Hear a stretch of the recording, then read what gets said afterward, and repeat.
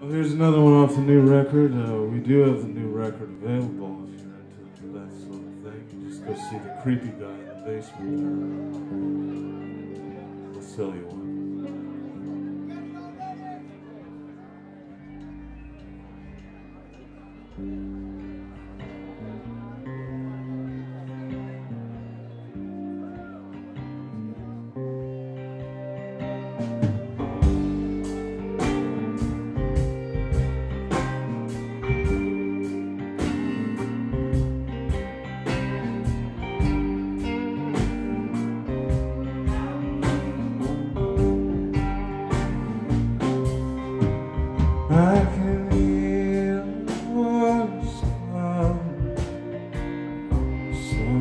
cursing my name I can hear the voice calling Saying I'm to blame